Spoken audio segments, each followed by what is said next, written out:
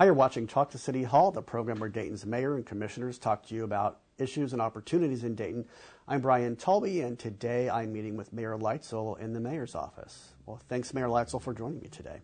Thanks, Brian, for coming. Thank you.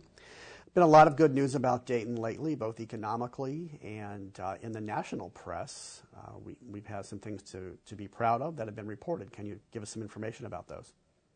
Absolutely. You know, uh, recently Dayton's been ranked uh, the number one most affordable city by uh, Forbes magazine, which is great because four years ago they called us a dying city, and uh, I think they've certainly turned around their their position on us. They also ranked the Dayton Dragons pretty highly in an article a couple of days ago uh, as being like a top uh, mid-level baseball league or whatever minor, minor league. Um, so we're certainly getting some great press. We're also number three in the United States for increasing house prices prices, uh, which is goes right along with being uh, a most affordable city. Uh, we've added 4,800 jobs in 2011, so we got an increase in job numbers going on here. Uh, I mean, Dayton's just getting all kinds of uh, national attention. It's one, just one of three Ohio metros adding population since 2010, reversing a declining trend that we've experienced for years.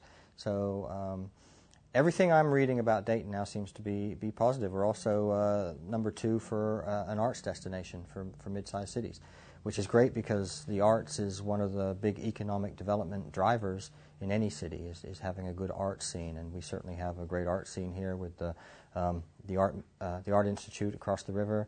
We've also got uh, pop-up shops and, and, and, an arts district, the Oregon Arts District, uh, where we have uh, local artists displaying their their art on the walls, and, and some of our coffee shops too are displaying local art. So I think it's great. I think uh, we're on the up and up, and Dayton's uh, it's already a great place to live.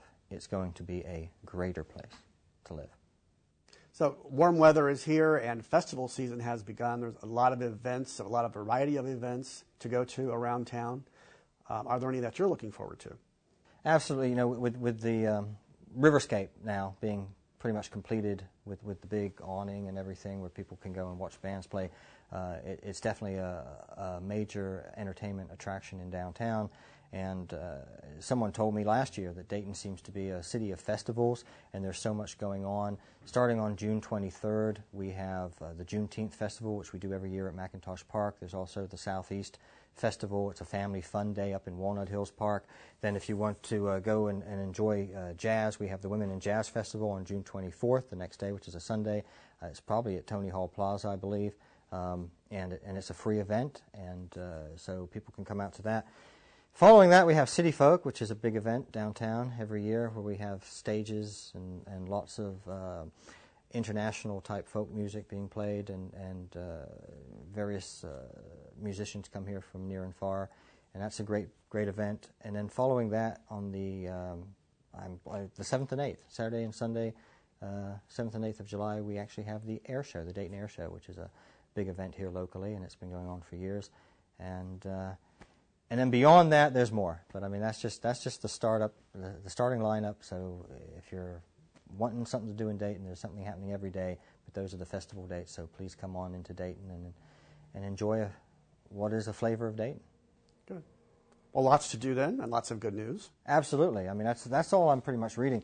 You know, I said um, several years back I, I was tired of reading about Seattle, Portland, and uh, Denver, and it's time to read about Dayton, and it's starting to happen. We're we're seeing Dayton more and more in the national media and uh, the national press, and people are are looking this way as uh, being an inspiration and a place to a place to raise a family. So I encourage people to keep looking at Dayton because there's great things happening here. As they say locally, it's great in Dayton. Good. All right. Well, thanks, Mayor Leitzell, for joining me today. And thank you for watching Talk to City Hall.